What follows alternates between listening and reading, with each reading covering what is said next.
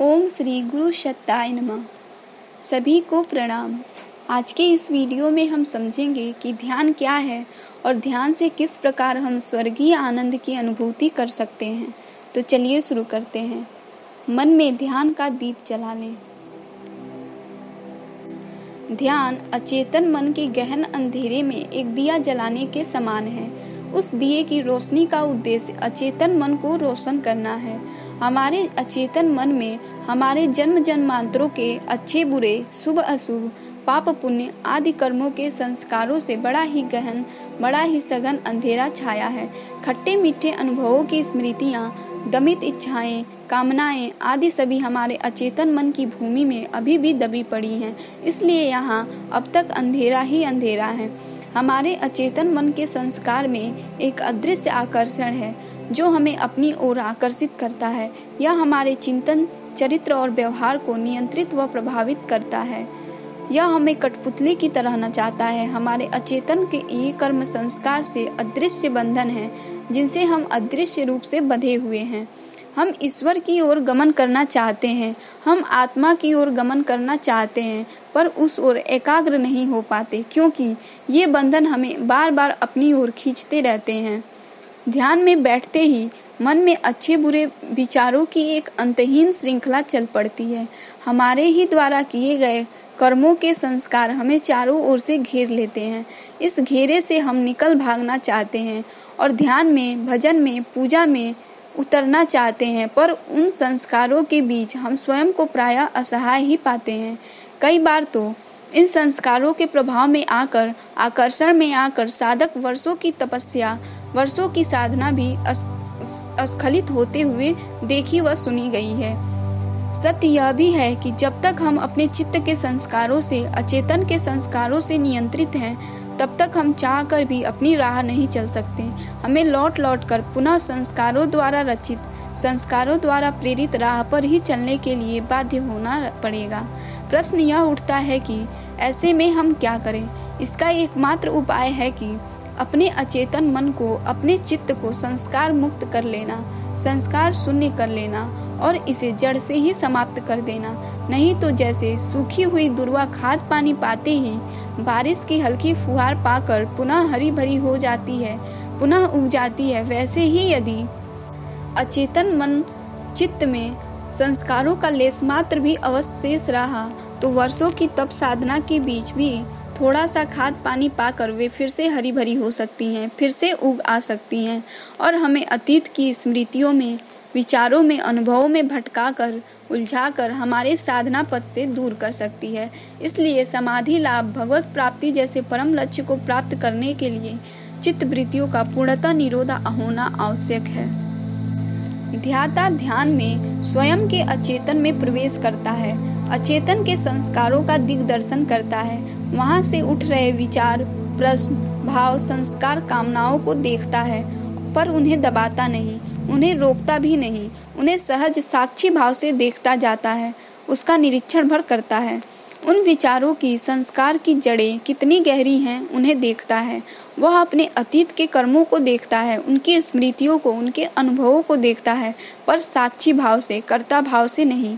वह अब उनमें लिप्त नहीं होता, उनसे प्रभावित भी नहीं होता, उनके प्रति आकर्षित नहीं होता। वह बार बार ध्यान की अग्नि वहाँ छोड़ता है और उन संस्कारों को जड़ सहित, मूल सहित जला डालता है भस्मी भूत कर डालता है। चित्त के संस्कार शून्य होते ही वह ध्यान की गहराई में उतरने लगता है। यह ध्याता पर निर्भर करता है कि वह साकार या निराकार किस प्रकार के ध्यान का अभ्यास करता है, किस प्रकार के ध्यान का सहारा लेता है, किस प्रकार के ध्यान में डूबना चाहता है। वह चाहे तो भगवान शिव, कृष्ण, विष्णु, हनुमान, दुर्गा, काली, लक्ष्मी, माँ, गायत्री आदि किसी भी रूप को, स्वरूप को अपने हृदय में देखने का अभ्यास कर सकता है। बार बार के अभ्यास से ध्याता को भगवान का वह स्वरूप अपने हृदय में दिखाई देने लगता है। इस प्रकार सगुण साकार स्वरूप के ध्यान से भगवान के हृदय में विराजमान होते ही हृदय की सारी वासनाएँ संस्कारों के साथ नष्ट हो जाती हैं। जब उस भक्त को ध्याता को परमात्मा का साक्षात्कार होता है तो उसके अंतर मन की कर्म बंधनों वाली गांठ टूट जाती है और उसके संशय छिन्न भिन्न हो जाते हैं।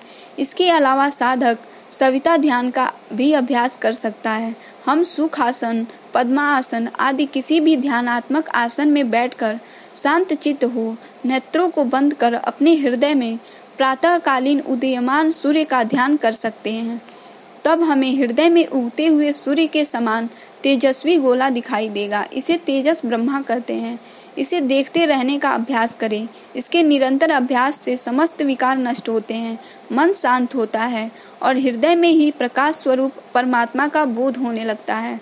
इसके अलावा ध्यान की एक अन्य विधि को अपनाकर भी हम अपनी आत्मा को भली भांति ध्यान कर सकते हैं। इस विधि में ध्यान करते समय हम भावना करें कि हम अपने हृदय में प्रवेश कर रहे हैं। धीरे धीरे हृदय की गहराई में उतर जाएँ। हृदय की गुफा की उस निरवता में, शांति में जलती हुई एक अखंड ज्योति का दर्शन करें। यह जलती हुई अखंड ज्योति ही वह आत्मा है, जो सत्यचित आनंद रूप परमात्मा का अंश है। इसका निरंतर अभ्यास करने से ज्योति स्वरूप आत्मा में ही परमात्मा का बोध होता है। पूरे हृदय क्षेत्र में, हृदय की गुफा में आत्मा का प्रभाव परमात्मा का प्रभाव ज्योति के रूप में दिख पड़ता है, वह अनुभव होने लगता है। इस प्रकार मन को ईश्वर में लगाने पर एवं ईश्वर के सगुण या निर्गुण स्वरूप का ध्यान करने पर जब संस्कार का विस्मरण होने लगे और अपने हृदय में आत्मा व परमात्मा के होने की अनुभूति होने लगे, इसे ही आत्मबोध व भगवत दर्शन कह सकते हैं। साधक चाहे किसी भी मार्ग, हठ योग, ज्ञान योग, भक्ति योग, कर्म योग राजयोग के मार्ग से चले। पर उसे ध्यान तो करना ही पड़ता है, क्योंकि सभी मार्गों का सार ईश्वर का सदा स्मरण करते रहना ही है। और यह नियम है कि जिस जिस वस्तु का बारंबार स्मरण किया जाता है, उस और मन एकतार चलता ही है, और उसे उसी उसी वस्तु का अनुभव होता है। ध्यान का अर्थ ही है ध्येय, वस्तु में मन का एक तार चलना। यह ध्येय वस्तु, सगुण, निर्गुण ब्रह्मा, गुरु या कोई भी वितराग ऋषि महर्षि हो सकते हैं। ईश्वर का बारंबार स्मरण करने पर ईश्वर में ही मन एकतार चलने लगता है और अंततः ध्यान करने वाला मन मन भी ध्येय वस्तु अर्थात ईश्वर में ही लीन हो जाता है, विलीन हो जाता है, बिंदु सिंधु में विलीन हो जाता है। जीव ब्रह्मा का चिंतन करते करते ब्रह्म में विलीन हो जाता है, ब्रह्म में ही विलीन हो जाता है। जीव भी ब्रह्म स्वरूप हो जाता है ध्याता ध्येय में ही विलीन हो जाता है। इसे ही योग कहते हैं। इसे ही आत्मा और परमात्मा का मिलन कहते हैं। इसे ही जीव और ब्रह्मा का मिलन कहते हैं। इसे ही समाधि कहते हैं। इस परमात्मा अवस्था को प्राप्त साधक को यह निश्चय हो जाता है कि संस्कार के संसार के सारे पदार्थ माया का कार्य होने से अनित्य हैं और एकमात्र परमात्मा ही सर्वत्र संभाव से परिपूर्ण है। वह स्वयं को परमात्मा का एक उपकरण मात्र मानते हुए अपना कर्तव्य कर्म करता है। इस प्रकार उसके मन में कर्तापन का, कामना का, ममता का, आसक्ति का सर्वथा अभाव हो जाता है। अंत में वह पल पल आनंद का, ब्रह्म का अनुभव करता है। ऐसी स्थिति को एक बार प्राप्त कर लेने के बाद उसका सोना जगना, चलना दौड़ना, हंसना बोलना, खाना पीना सब ध्यान बन जाता है। सच कहें तो उसका जीवन ही ध्यान बन जाता है। उसका जीवन ही ध्यानमय हो जाता है। अचेतन में ध्यान का दिया जलते ही सब कुछ बदल जाता है। कभी संस्कार से नियंत्रित होने वाला, रहने वाला व्यक्ति आत्मनियंत्रित हो जाता है, ईश्वर नियंत्रित हो जाता है। उस अवस्था में वह सब प्रकार के दुखों से, अभावों से, बंधनों से मुक्त हो जाता है। अचेतन में आत्मा का आलोक, परमात्मा का आलोक उतरते ही उसके जीवन में एक नया प्रभात, एक नया सवेरा होता है। उसके अंदर एक नूतन दृष्टि, एक नूतन सृष्टि उत्पन्न होती है।